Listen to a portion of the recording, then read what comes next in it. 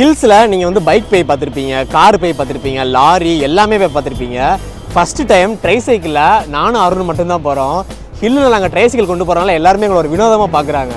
எந்தூரு இந்தூரு என்னாது என் பேர்? உண்மையை நீ சொல்லு தங்கராசா.